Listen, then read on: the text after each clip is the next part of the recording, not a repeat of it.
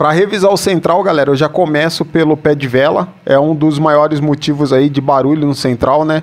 É, na verdade, falta de lubrificação, às vezes no contato faz barulho. Tirei o pedal. Agora vou para os parafusos que sustenta aí o braço do pé de vela. Isso vai depender de pé de vela para pé de vela, mas no nosso caso aqui é o Square. Estou usando esse sacador aqui de braço. Se caso você não tiver essa ferramenta ou tiver espanada ali, eu tenho aqui no meu canal como tirar esse braço aí, galera, sem precisar dessa ferramenta e sem machucar, sem entortar o bracinho lá, ó que da hora, mas fala aí com a ferramenta própria, pô, muito mais rápido, muito mais rendimento.